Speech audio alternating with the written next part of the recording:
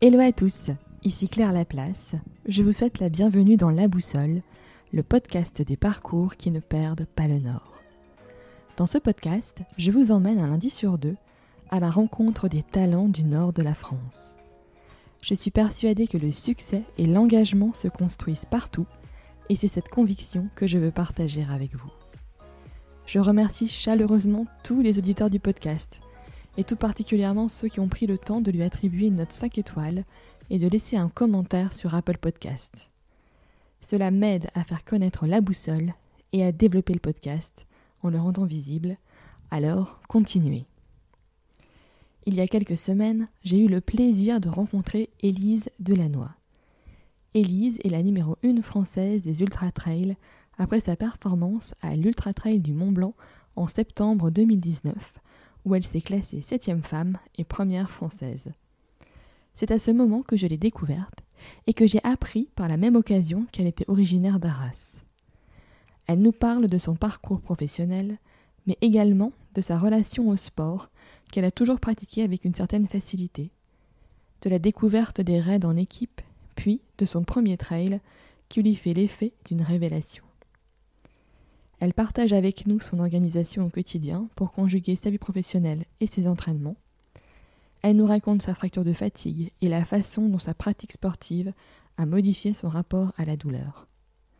Enfin, elle m'a bluffé par son enthousiasme, sa joie de vivre et son envie de se dépasser en permanence. Notre conversation a été enregistrée dans un lieu public. Il y a donc un peu de bruit en fond, mais je tenais à partager avec vous cette conversation riche d'enseignements.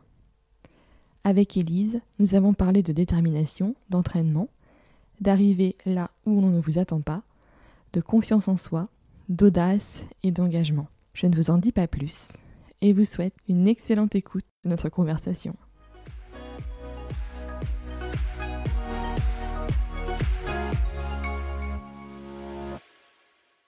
Bonjour Elise, je te remercie d'avoir accepté mon invitation dans la boussole. Euh, alors pour ceux qui ne te connaissent pas, euh, tu es une sportive, euh, on peut dire de haut niveau, de la région, donc tu es à Daras et tu étais, tu avais fait fini première femme française à l'Ultra Trail du Mont Blanc, qui est le moment c'est vrai, moi j'ai entendu parler de toi du coup à cette occasion-là.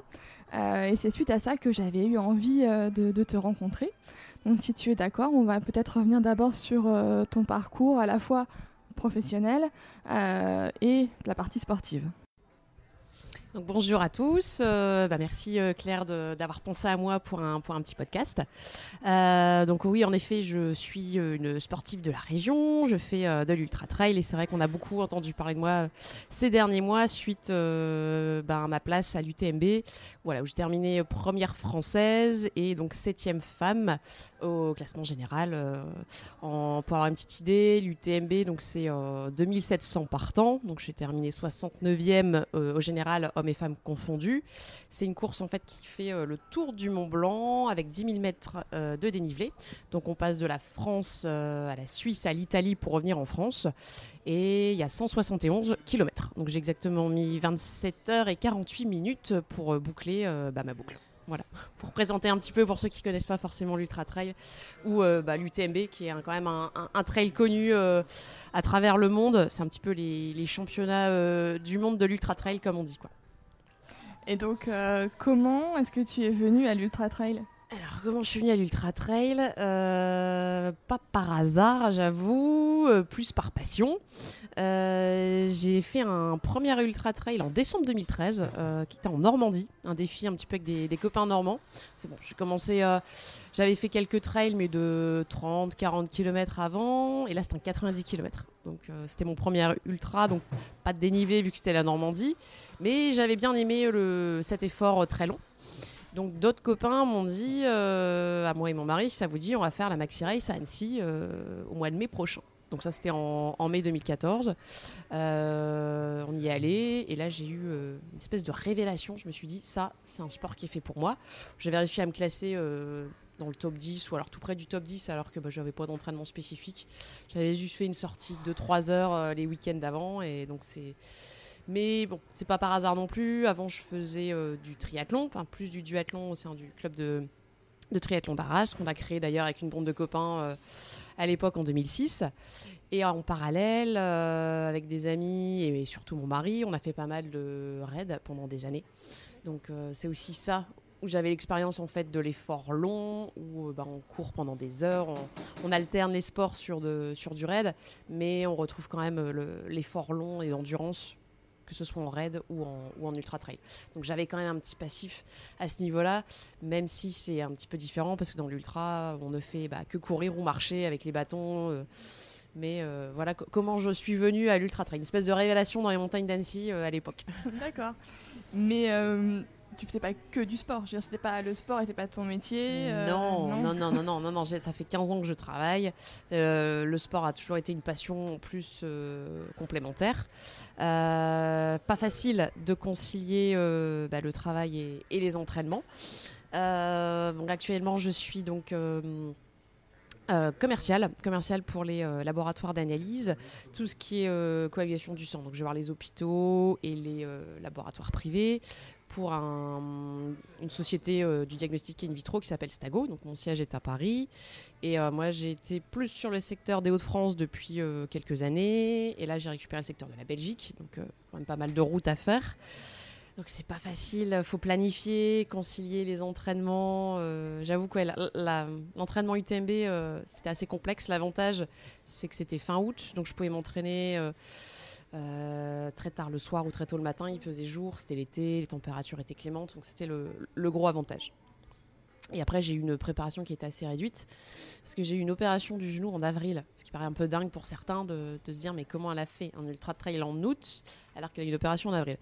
Donc bon, c'était une, opération sans conséquence, euh, vu que c'était, bon, j'avais un hygroma avec une infection, donc j'ai pas pu m'entraîner de février, euh, de février à avril. Euh, donc qui était quand même pas, pas bien parti pour moi pour faire mon, UTMB. Et je me suis remis très très vite. J'ai eu la chance euh, d'avoir un suivi pour des sportifs. Euh, j'étais bah, opérée à Annecy. Et j'ai pu reprendre très rapidement. Donc ça c'était le, gros avantage. Mais je pense aussi que c'était un petit peu ma revanche sur l'UTMB parce que j'aurais voulu faire d'autres courses en début de saison que je n'ai pas pu faire pour me préparer. Et donc c'était un petit peu, j'avais la niaque pour me dire j'ai réussi quand même à être là sur la ligne de départ. Et donc j'étais euh, pleine d'énergie et l'envie d'en découdre était là. quoi. Et du coup, comment ça se passe un, ultra trail comme l'UTMB enfin, C'est quoi les une aventure. c'est une grosse aventure avec soi-même. Parce que là, on est seul. Ce que j'aime dans le raid, en fait, c'est le partage. On est en équipe, on est soit deux, soit trois, soit quatre, et on ne se quitte pas du début à la fin du raid. Et ça, j'adore parce que euh, on vit euh, un moment avec d'autres, on peut en mm. discuter, on peut en reparler. On, si on a un coup de moins bien, on est soutenu, on soutient les autres qui ont un coup de moins bien. Là, on est seul et euh, on est même même pas quand on est au devant de la course, c'est même pas qu'on est seul, c'est qu'on est quand même dans un esprit de compétition. On le sent bien, même si à la base, moi, je fais pour moi quand je suis sur une de départ, je ne pense pas aux autres. Euh, là, j'ai bien senti que j'étais euh, dans le top 100 et que c'était la compétition mm. qui était là. J'étais au milieu de. Bah, ça parlait. Euh, si je parlais, je parlais anglais de toute façon. mais on me répondait pas souvent. Il y a pas mal d'asiatiques. je pense aussi qu'il y avait la barrière de la langue. Mais au niveau féminin, j'ai bien senti que c'était c'était la compétition quand même quand on est mm. au devant de la course, quoi. Donc on part en se disant, bah, je suis parti pour une trentaine d'heures. Mon objectif c'était de faire 30 heures autour de 30 heures. Ça aurait été, euh, c'était mon, là j'étais, bon j'ai mis 27 heures donc c'est magnifique. C'est une satisfaction euh, énorme. Mais jamais j'aurais pensé euh, faire un top 10 à ce niveau international. Donc c'était une satisfaction incroyable à l'arrivée. Mais on, on, part en se disant, je pars pour une aventure avec moi-même. C'est aussi ce qu'on recherche, je pense, quand on fait l'ultra. C'est moi, ce que j'aime, c'est me retrouver seul dans la montagne et de pas avoir de téléphone, de pas avoir d'ordinateur. Mon, métier aussi fait que je suis souvent devant l'ordinateur. J'ai mon téléphone perso, mon téléphone pro. Enfin, on est toujours sollicité par, euh, euh, les nouveaux moyens de communication et du coup, on se fait une coupure et là, on se retrouve avec soi-même.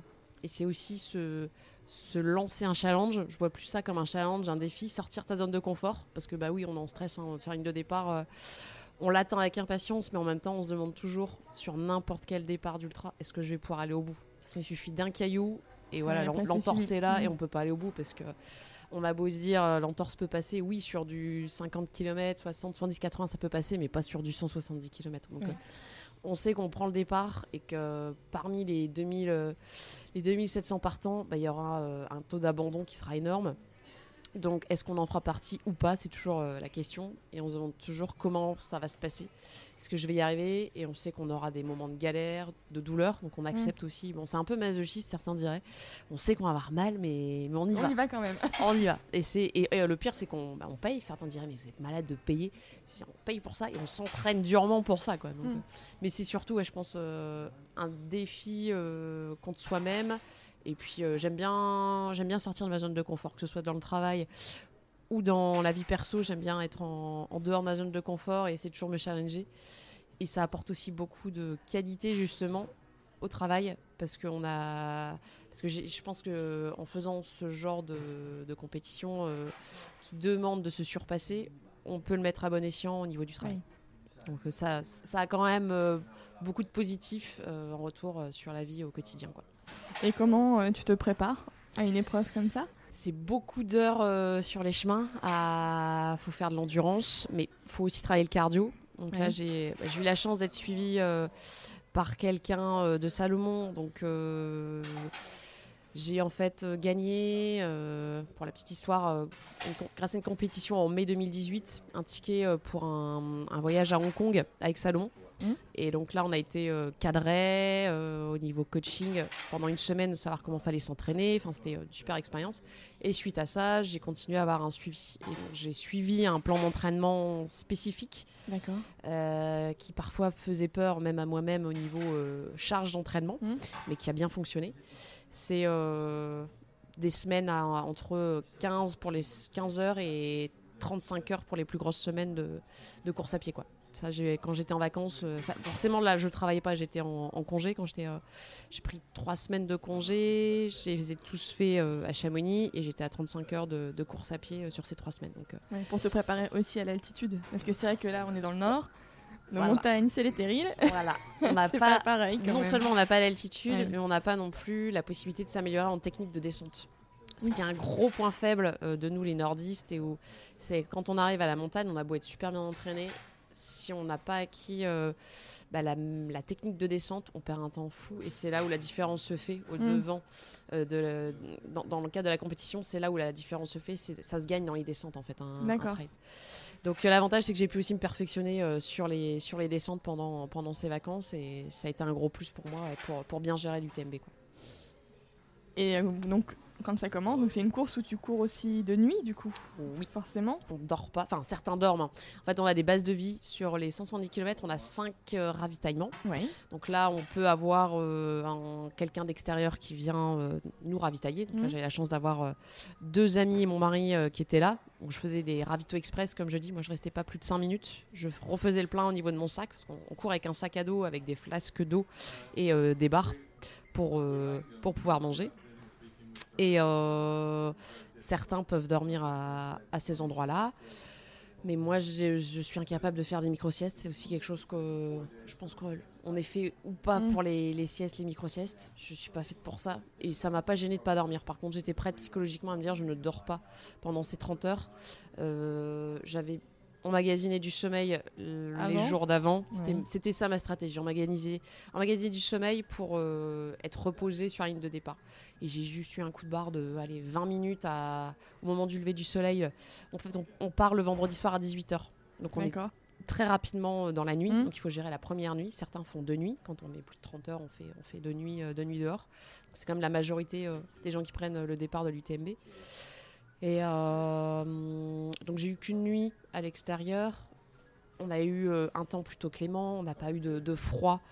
Euh, si au niveau d'école, on est presque à 3000 mètres, il faisait quand même froid, mais c'était pas non plus. les autres années, ils ont parfois eu moins 10 degrés. Là, on, on devait Ah être autour de zéro.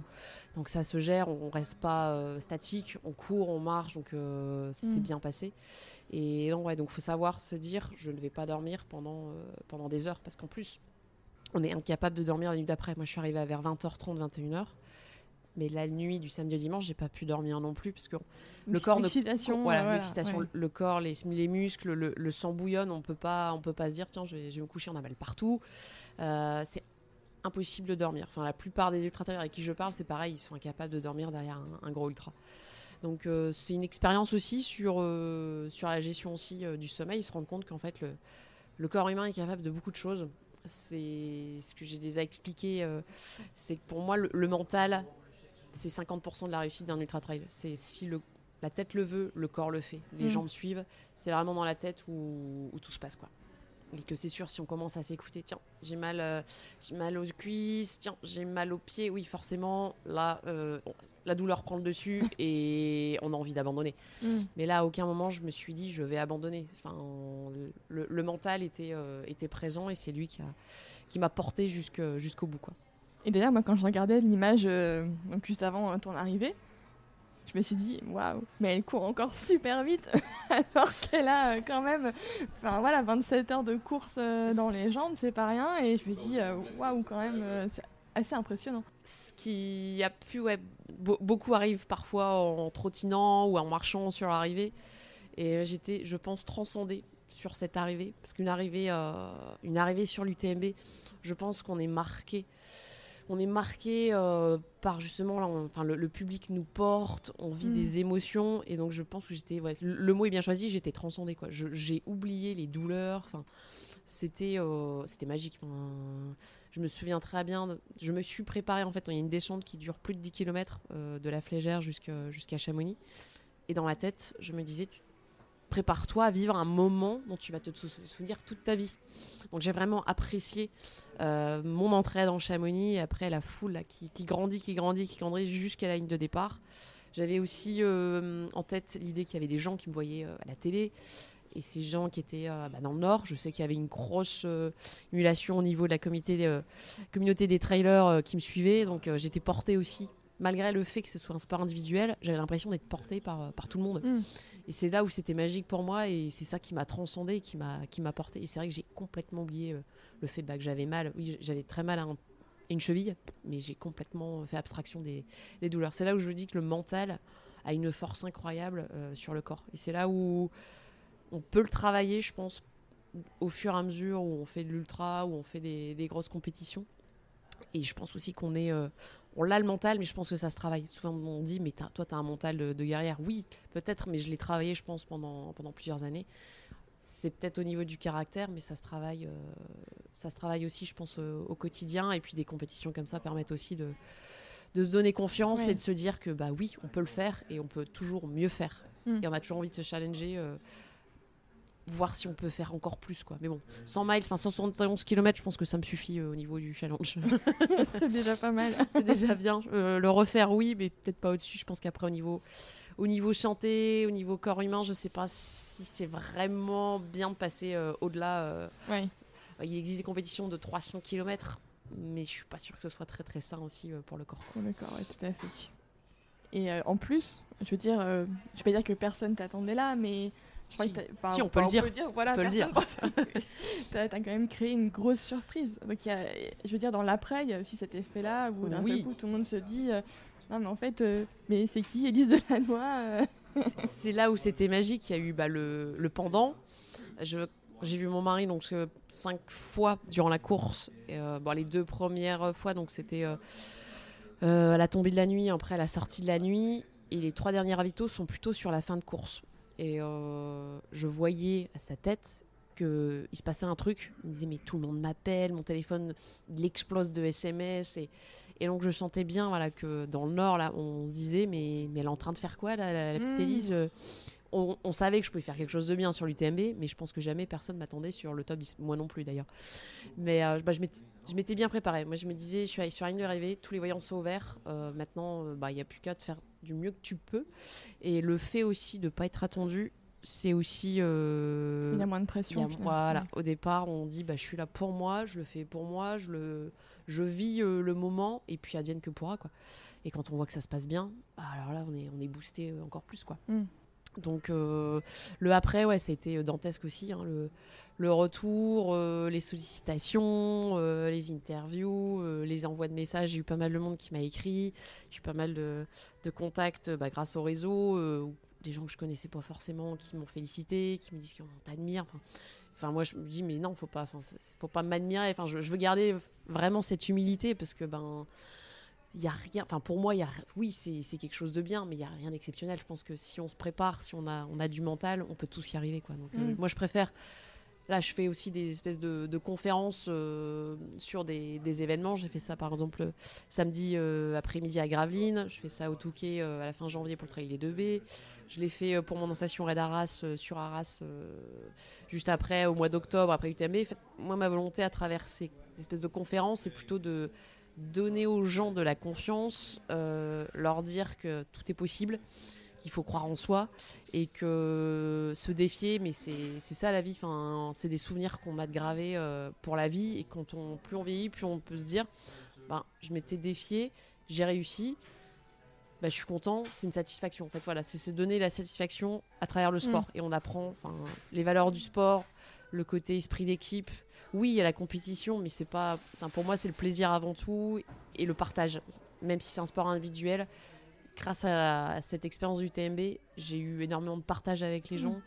Euh, c'est plus ça que je retiens, au-delà du fait, oui, j'ai fait une bonne place, mais c'est plus euh, l'échange que j'ai pu avoir à travers ça et ce que j'espère avoir pu apporter aux gens. Certains m'ont dit, mais ouais, c'est exactement, euh, c'est exactement ça. Enfin, c'est ça que j'ai envie et c'est bien, tu m'as motivé. Mm. Il y a- il y a même des, des personnes qui m'ont demandé de les suivre pour les, les coacher, pour les aider euh, bah, à aller au- au- au-delà de leurs objectifs et à passer euh, un cap au niveau euh, distance. Donc bah, moi, ça me fait plaisir de pouvoir aider les gens. Quoi. Et du coup, donc tu parlais de la marque Salomon. C'est ton sponsor, c'est ça? C'est En fait, voilà, ouais. c'est- voilà, je suis équipée par Salomon, je suis ambassadrice Salomon. Euh, j'ai eu la chance, euh, grâce à eux aussi, de pouvoir repérer euh, le parcours de l'UTMB. Donc, on était toutes les filles à l'international euh, contact avec Salomon, soit ceux de la team euh, internationale, soit ceux de la team France, soit les ambassadrices euh, comme moi. On s'est tous retrouvés à Chamonix, on a fait le, tour de l'UTMB en, en 3 ou 4 jours. Donc c'était une super expérience, un super moment aussi pour progresser, un super moment d'échange. Donc c'est vrai qu'avec Salomon, j'ai eu aussi euh, euh, l'hébergement au moment du TMB. Mm. Donc c'était aussi euh, super d'être baigné aussi. bah, j'ai vécu avec Courtney de Walter qui a gagné, la gagnante de l'UTMB, de pouvoir voir comment les, bah, les vrais pros qui vivent, euh, qui vivent un petit peu de leur passion, euh, comment ils se préparent. Et c'est une super expérience de voir comment, comment ça se passe euh, à l'intérieur des teams. Et on se rend compte que aussi on vive la, la même journée d'avant-course, donc euh, un peu de stress, le visage qui se ferme quand même un petit peu parce qu'on se demande comment va se passer Mm. la course. Et euh, bah, ils mangent comme nous, ils font, enfin c'est exactement la même préparation d'avant-course. Donc c'est un côté rassurant de se dire bon bah sur la ligne de départ on est tous pareils au final quoi. Ouais. Finalement, il y a des entraînements, mais après, euh, voilà, euh, au moment, au moment de partir, euh, C'est la aussi- même chose. ouais. Là, moi, j'ai juste eu le désavantage, c'est que j'avais pas de dossard élite. Euh, en fait, on a un au niveau du trail, il y a un classement qui s'appelle euh, classement ITRA. Donc, c'est une cote internationale où on a des points. En fait, plus on fait euh, des ultras où on est bien classé, plus on a de points. D'accord. Moi, j'ai jamais cherché à avoir euh, des points ITRA. Dans ma petite euh, carrière de, de trailer, j'ai plutôt cherché à, à faire bah, des courses plaisir. Donc, j'avais pas forcément une cotation euh, équivalente. Ce qui fait qu'au niveau international, il y avait tellement des filles avec un gros niveau, euh, au niveau euh, international, justement, donc avec des grosses cotes ITRA. J'avais pas le dossard élite, donc je n'étais pas dans les 30 euh, meilleures prétendantes euh, au départ. Donc Mhm. j'avais euh, l'obligation d'arriver au moins une heure à l'avance, voire une heure et demie. Je suis une heure et demie à l'avance pour me placer sur ligne de départ. Là où des élites qui ont leur classement ITRA, donc un dossard élite, Elles sont d'office. d'office ouais, placés devant la ligne et peuvent arriver 5 minutes avant le départ. Surtout que cette année, on a eu une averse orageuse qui a duré bah, une heure et demie, le temps d'attente avant l'UTMB. Donc prendre le départ noyé déjà, ça aidait pas à motiver. Mais Ouais. bon, après, on, est, euh, après on, se, on se met dans sa bulle et puis on prend le départ. Donc c'était la petite histoire du, du Dossard 548 euh, qui, a, qui a bien fait rire du monde quand, quand j'en parlais euh, au niveau euh, de mon récit. Et du coup, maintenant, la suite pour, pour toi sur cette partie trail, c'est quoi? C'est Quelles sont les prochaines courses auxquelles tu t'entraînes euh, Donc là, j'ai re-signé pour reparticiper à l'UTMB. D'accord. Donc euh, c'est reparti, euh, l'aventure démarra en 2020. J'avais tenté en fait la loterie euh, pour un gros ultra trail, bah, pareil de 171 km, donc 100 miles aux USA, le Western States euh, dans le désert euh, californien. En fait, ce qui me plaît, moi, c'est le côté chaleur. Je, je gère très bien le climat très chaud. Mhm. Et cette course, elle est, elle est un petit peu mythique. C'est le premier ultra trail qui existait en France, Euh, en France, euh, dans le Ouais, monde, dans le monde, justement et qui est pas en France. Donc euh, c'était le côté un petit peu voyage qui me plaisait, aventure. Sauf que bon, ils en prennent 500 sur, euh, je crois qu'on est, euh, on est, un- on est plus de 5000 à vouloir y participer, donc euh, Oui. les chances étaient, étaient maigres.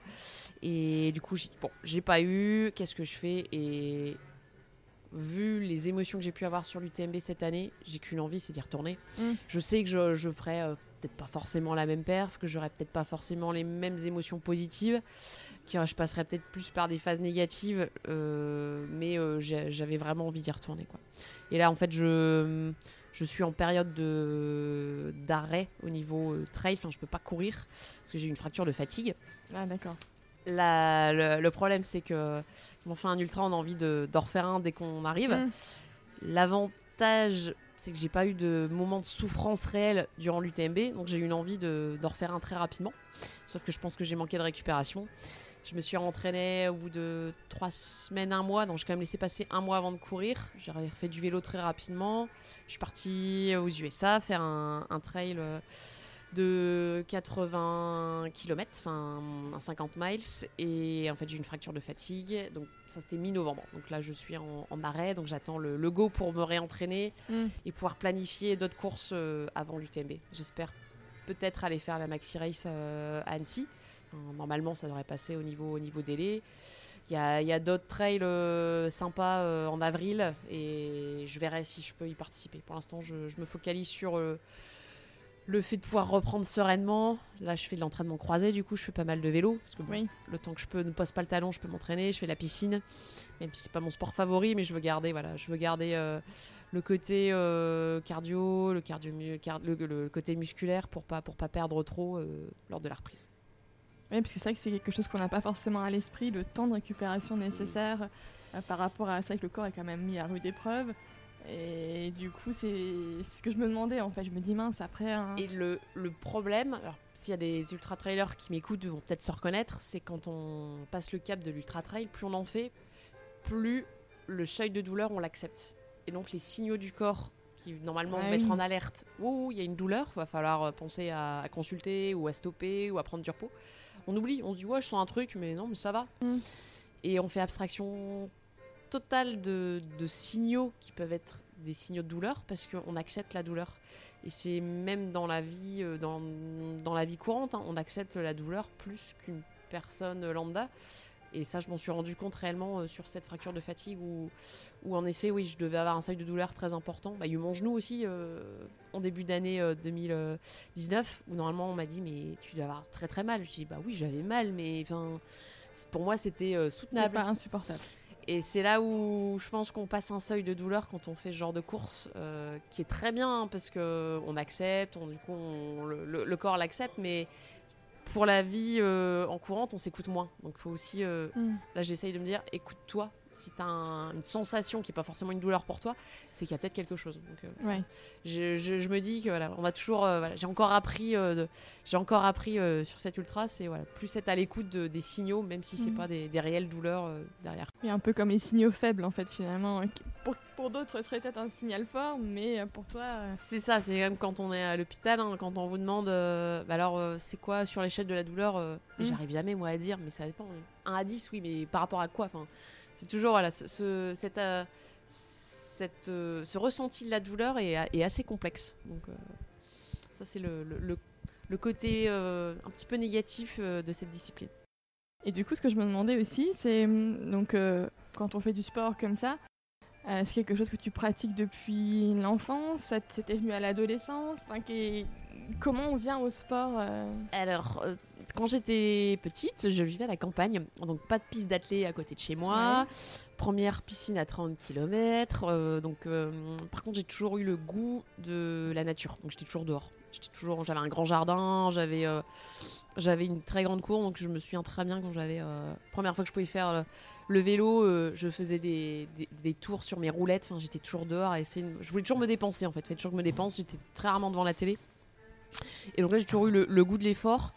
Et euh, quand j'étais ado, bah, je gagnais les crosses du collège sans Ouais. entraînement. Donc après, euh, c'était quand même un, un bon signe sans entraînement de gagner le cross. Euh, mes profs de sport, du coup, de PS, me- m'entraînaient du coup pour faire les, les manches euh, départementales, régionales. euh, et puis après, bah, j'étais étudiante, j'allais toujours courir euh, quand j'ai- quand j'étais étudiante, mais je faisais pas de compétition. Enfin, j'avais toujours ce besoin de me dépenser, de courir, mais sans compétition. Et après, c'est quand j'ai rencontré mon mari qui m'a mis à mon premier 10 km sur route, où j'ai très bien terminé. Où euh, on a créé ensuite le club de, triathlon d'Arras. Donc là, je me suis mis très rapidement bah, aux entraînements de vélo. J'ai appris à nager le crawl. Donc, euh, je suis devenue voilà, sportive euh, plus après, après la vingtaine. Et puis, petit à petit, je suis arrivée sur des distances plus longues. D'abord sur le, le raid. Après, en duathlon, j'avais fait le championnat de France de duathlon longue distance. J'ai fait les Coupes de France aussi sur le court distance. Mais je savais que je préférais le long. Et petit à petit, voilà, je suis devenue compétitrice. Et puis, euh, petit à petit, on fait plus en plus euh, d'entraînement. Et puis, bah voilà, après, euh, je suis arrivée au, au, au trail en 2014, sans penser qu'un jour je ferais, un, je ferais de l'ultra. Parce qu'au début, je me disais, mais c'est pas bon pour le corps. On dit toujours, euh, trop de course à pied, c'est pas bon. Sauf que je trouve qu'un marathon est beaucoup plus traumatisant qu'un ultra euh, de. Non, pas de 170 km, c'est traumatisant. Mais un ultra, par exemple, de 80 km, je trouve que c'est moins traumatisant qu'un marathon euh, sur route de 40 km. Ça paraît bizarre, mais euh, pour avoir fait les deux, Oui. en fait, en montagne ou dans les chemins, on sollicite, je trouve, moins le corps parce qu'il n'y a pas de bitume. Mm. Donc là, il n'y a pas de résonance. Le- les genoux, le dos en prennent moins. Et on marche. Et on a les bâtons quand on monte. Donc on marche avec les bâtons. Oui. Et ça aide énormément aussi. Et je trouve que j'ai l'impression, alors après, à voir, il faudrait faire des études poussées euh, au niveau scientifique. Mais je pense qu'on se, on est moins sujet aux, aux blessures suite à des, des trails parce que c'est c'est de la terre, c'est du chemin, c'est du shit, c'est du que sur du bitume. Donc c'est pour ça aussi que pendant plusieurs années, j'ai enchaîné pas mal les trails en faisant des distances très longues et mon corps, euh, mon, mon corps acceptait très bien. Quoi. Là où sur du marathon, on peut pas forcément faire euh, des marathons tous les deux mois euh, comme on peut faire du- Oui. des trails très longs. Quoi. Et donc, pour revenir aussi sur ton parcours, tu as fait des études à la Cato, c'est ça? Ouais. Oui. Ouais, à Lille. Exactement, dans une école qui s'appelle Espace Teco Bio. Euh, j'ai fait ça et ensuite je suis travaillé directement. Donc je travaillais d'abord pendant 10 ans dans un laboratoire d'analyse euh, environnementale qui était près de Valenciennes. Et puis donc j'étais déjà commercial, j'étais sur la route, euh, j'allais voir les entreprises. Et après, bah, j'ai changé, euh, j'avais envie, euh, toujours, toujours ce, ce besoin de sortir de sa zone de confort.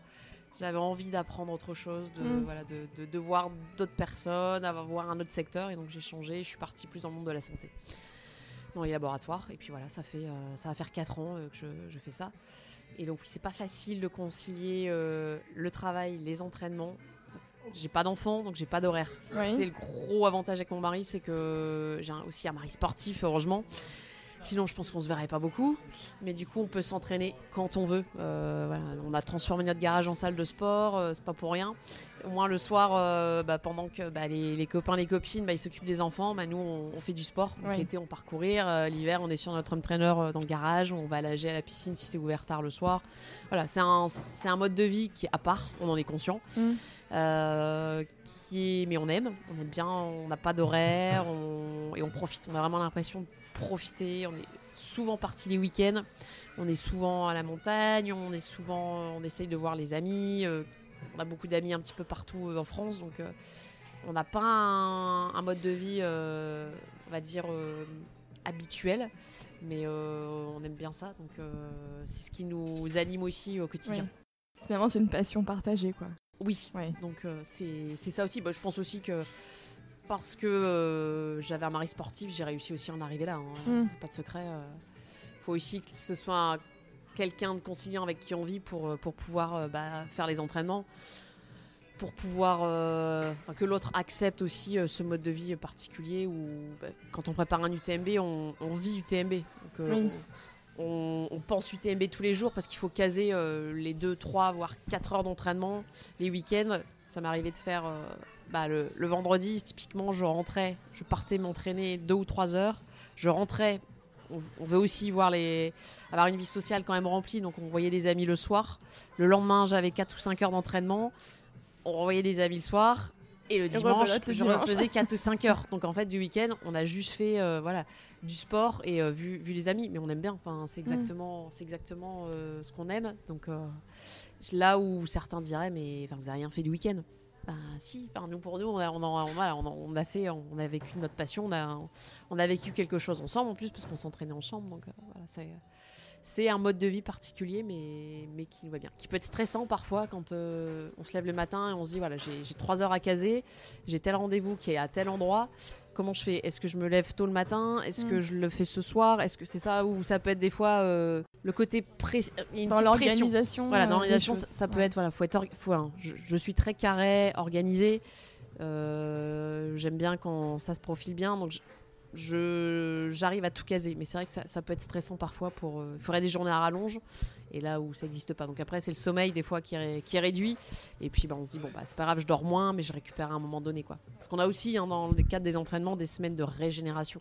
Mmh. Où là, justement, on s'accorde. Euh, il y a une semaine où on fait, euh, on fait très très peu de sport. On fait à moins de 10 heures. Donc par rapport à des semaines de, plus de 20 heures.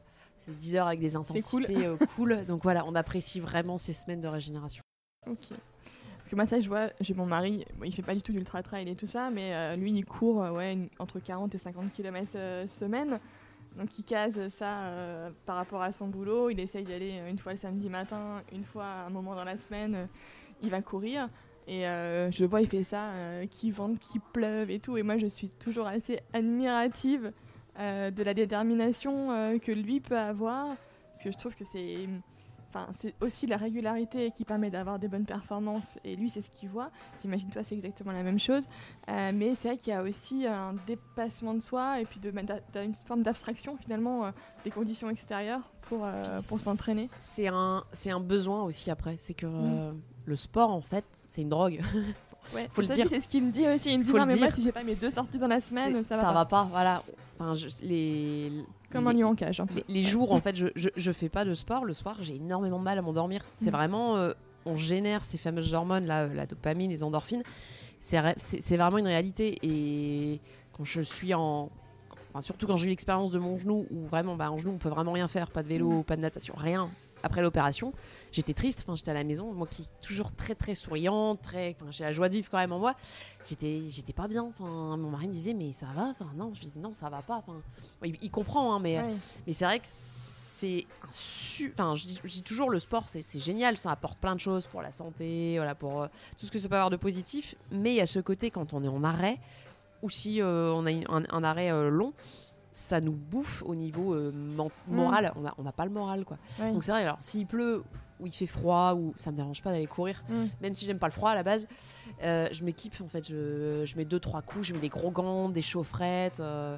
là, le, week-end, il fait pas du super temps en ce moment, mais j'ai besoin de ma sortie en VTT. Enfin, j'ai besoin de prendre l'air et je sais que c'est pas les conditions que j'adore, mais ça fait tellement bien après en rentrant, on se sent tellement mieux. C'est vraiment, c'est vraiment un besoin. Donc on fait on fait, on fait abstraction du mauvais temps. Il y a, il y a un trailer connu qui s'appelle Xavier Thévenard qui dit toujours il n'y a pas de mauvais temps, il n'y a que des mauvais, des mauvais vêtements. Donc le tout, c'est de savoir s'équiper comme il faut euh, en sortant et on oublie après. Euh, c'est vrai que c'est beaucoup plus agréable de courir sous le soleil et sous une météo clémente. Mais euh, après, c'est le goût de l'effort aussi qui est là, quoi. Oui. Puis nous, dans le Nord, bon, on s'habitue aussi. Voilà, on n'a pas le choix, sinon on est, sinon on sort pas beaucoup. Sinon, ça serait que du mois de mai au mois de septembre. Bon, ça ferait, ça ferait court sur l'année, quoi. Et est-ce que tu as le temps, euh, je sais pas moi, de, lire? Est-ce que tu arrives à, trouver aussi du temps euh, pour toi? Eh ben, Justement, c'est une réflexion que je faisais ce matin euh, à mon mari. Dimanche, je lui disais. il me dit, mais oui, mais on n'a pas le temps parce qu'on des amis qui sont allés à un concert ce week-end. On a toujours dit qu'on irait à l'opéra cette année. Enfin, en 2019, on n'est pas allé. Enfin, c'est mm. des choses que j'aimerais bien faire. Je n'étais jamais allé à l'opéra. J'avais dit, je vais aller à l'opéra cette année. Je l'ai pas fait en 2019. Et justement, je me dis, ben ouais, en fait, on manque de temps. C'est une réflexion qu'on s'est faite euh, ce matin, c'est rigolo. Et, je veux me laisser plus de temps aussi pour lire si j'ai le temps de lire. Euh, ça, le, soir, j'ai besoin de lire pour, pour m'endormir de toute façon. Euh, mais euh, veux aussi garder ce, ce, côté curiosité. Alors par contre, on ne regarde pas la télé, c'est juste pas possible à caser dans une journée. Donc on a même notre une nouvelle box et il y a même Orange qui nous a appelé plusieurs fois depuis le mois de mai. On a une nouvelle box installée, on l'a toujours pas installée. Euh, ils sont un petit peu étonnés. On dit mais, mais on regarde pas la télé, donc euh, voilà. C'est, je préfère me parler de la télé. Euh, bah, les, news, on les a bah, à la radio, on les a mm. grâce à nos téléphones portables. Donc, puis je trouve aussi que parfois c'est, ça nous pollue l'esprit, ça nous fait un petit peu déprimer tout ce qu'ils nous disent à la télé. Donc c'est, aussi un choix. C'est aussi manque de temps, mais aussi par choix. Et mais oui, j'aimerais bien faire plus de choses culturelles, entre guillemets, en plus du sport. Mais malheureusement, le travail mm. prend du temps et les entraînements prennent du temps. Si j'avais le choix, ouais, j'aimerais bien plus prendre du temps pour le aller en concert, aller au théâtre, aller à l'opéra, aller faire des choses comme ça. Quoi. On, a, on a une super région où y a, il se passe plein de choses. c'est vrai. Et on n'a pas forcément le, le, temps de pouvoir tout, tout aller faire. Quoi. Et euh, du coup, euh, en termes de lecture, qu'est-ce que tu lis en ce moment ou qu'est-ce que tu voudrais partager? Je sais pas si tu avais un livre où tu dis ah ben celui-là eh ben, là, en ce moment, alors j'aime bien les, j'aime bien euh, Musso. Enfin voilà, ça me détend en fait ce genre de livre. Là, je suis sur euh, La jeune fille et la mort. C'est ça. J'avais acheté. Euh, j'aime bien lire des choses qui me détendent. J'aime bien lire le magazine Science et Vie. J'apprends beaucoup de choses. J'ai un côté, j'aime bien, j'aime bien le, côté. J'aurais aimé la bio, donc quelque chose que j'aime bien. Donc Science et Vie, je les, lis, je lis beaucoup. Forcément, je lis magazine de trail aussi. Mmh. Euh, donc c'est plus ouais, des lectures de, pour me détendre. Et puis après, j'ai un, un mari qui adore les BD. Donc euh, des fois, il y a des BD il me dit ah, ça là elle te plairait sur tout ce qui est historique. J'aime bien aussi euh, tout ce qui est historique l'histoire l'histoire de notre région. Bah, est marquée par les, nos deux les, la, grande guerre. Il y a Vimy qui est pas loin avec la, la guerre 14-18 donc tout ça j'aime bien dans toutes ces lectures. Il y a pas mal de BD qui sont sortis là-dessus. Donc ouais je suis assez hétéroclite ouverte c'est comme en musique hein, je, suis, je, suis, ouverte à tout je suis pas trop fan du rap, mais après j'écoute de tout. Euh, je suis assez, euh, voilà, c'est pas, j'ai, je suis vraiment ouais, euh, au point minded à, à ce niveau-là, comme D'accord. Et si tu avais un peu des journées type, on va dire une journée type en période un peu creuse et des journées type en période d'entraînement, ça serait quoi En semaine ou en week-end? Bah, comme tu veux, le, ce qui est le plus représentatif pour toi. Ce qui bah, plus, allez, on va dire, euh, on va prendre une un jour en semaine puis un jour en week-end, comme ça, ça donnera une idée. Alors quand, par exemple, sur un mois de juin-juillet, en période de, quand là je préparais l'UTMB, bah, le matin en général, bah, soit je me levais tôt, j'allais déjà faire une heure de course à pied. Euh, ensuite, j'allais travailler. Euh, le soir, je recasais une, une sortie. Et puis, euh, bah forcément, bah, la journée, on travaille. Le midi, on mange vite fait. J'essaye aussi de téléphoner à une copine de temps en temps, mmh. où on a les collègues au téléphone, donc ça prend un petit peu de temps aussi. Et puis, euh, en période plus creuse, voilà, non, je me, je me lève, euh, j'ai plus de temps pour moi. J'apprécie aussi de me lever tranquillement, de m'étirer. Je prends aussi le, mm. temps de m'étirer le matin en prenant mon petit café. Euh, je suis amenée aussi à faire des nuits d'hôtel avec mon travail. Donc, que ce soit à la maison ou à l'hôtel, je prends ces 10 minutes d'étirement et de temps avec moi-même et mon café. Et ça, c'est mm. vraiment important pour moi. Je prends un bon petit déj, ça, c'est hyper important. c'est mon repas préféré de la journée. Et puis euh, bah après euh, le travail. Euh, et puis même si c'est en période creuse, il y a toujours un entraînement, donc je le case, je le case le soir après la journée de travail. Et puis bah, le week-end, c'est pareil, c'est je me lève, je prends le temps. J'aime bien cuisiner aussi. Souvent, je, je petit déj, je cuisine et après je vais m'entraîner. Mmh. Donc j'aime bien me faire faire à manger aussi. J'ai des invités le soir. Enfin j'aime bien j'aime bien prendre le temps de cuisiner. L'entraînement, souvent sur l'heure du midi.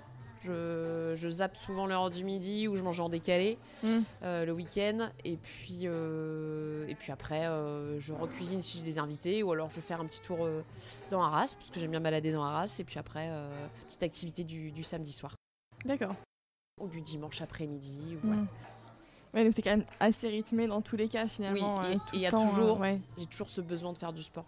Mm. Sauf dans les semaines euh, de régénération où je sais que là, le repos, c'est pas de sport de la journée, mais même s'il y a souvent une journée de repos sûre dans la semaine, sauf dans les semaines de charge, une à deux journées.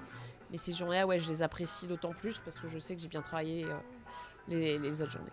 Euh, c'est voilà, les journées type, il y a toujours un petit peu de sport normalement en général. Ou si c'est pas du sport, c'est des étirements, et du coup, est-ce que tu fais des pratiques, je sais pas, comme du, yoga, de la méditation C'est des choses que tu pratiques? C'est voilà, le yoga. J'aimerais bien aussi prendre le temps d'en faire. Euh, déjà m'étirer pendant 10 minutes, un quart d'heure tous les matins.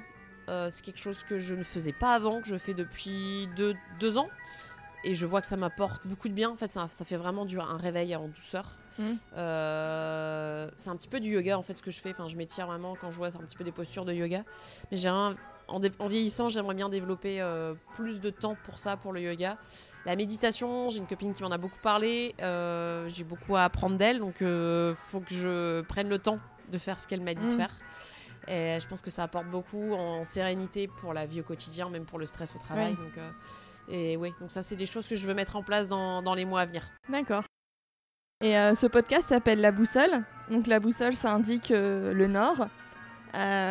donc une direction. Et toi, à qui tu voudrais montrer soit le nord, soit une direction de, de, de, donner soit, on va dire, une impulsion à quelqu'un ou à quelque chose? Tu voudrais passer un message, euh, je sais pas, de dépassement de soi, enfin ce que. Euh, voilà, c'est bah, c'est ce que je disais tout à l'heure au niveau de tout ce que je peux faire comme échange suite à l'UTMB là dans les conférences, c'est euh, donner confiance à ceux qui doutent sur justement leur capacité. Enfin, le corps humain, c'est une machine. Faut faut juste savoir l'entraîner, sortir de sa zone de confort, en être capable, faire le pas.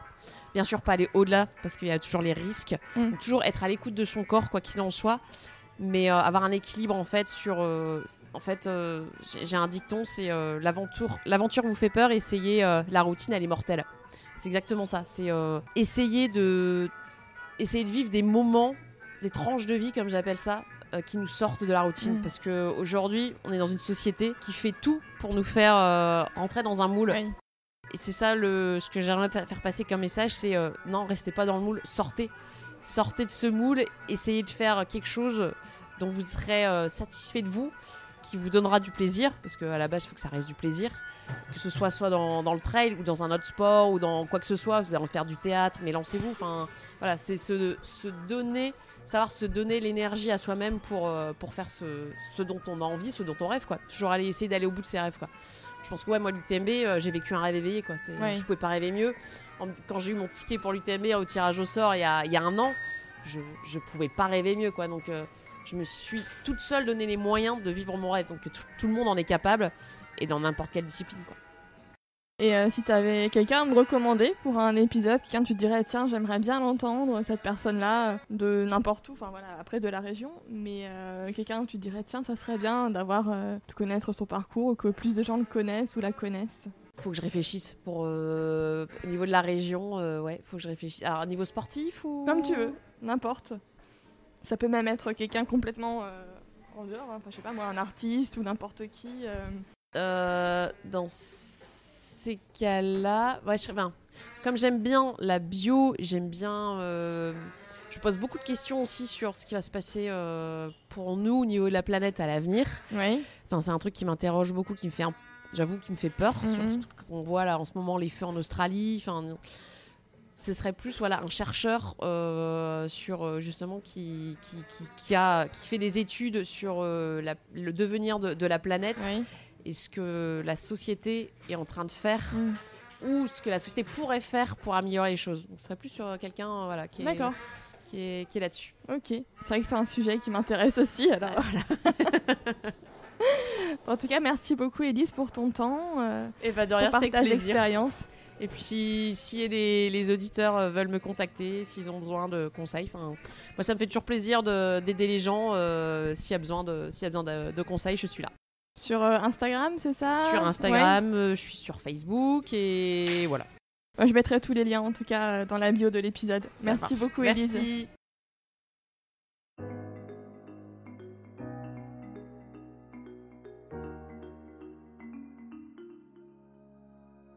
J'espère que cet épisode vous a plu. Vous retrouverez dans les notes de l'épisode les ouvrages et les initiatives évoquées pendant notre conversation.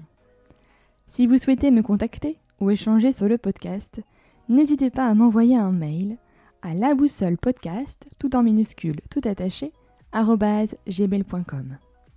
Je vous remercie et vous donne rendez-vous dans 15 jours pour un nouvel épisode de la boussole.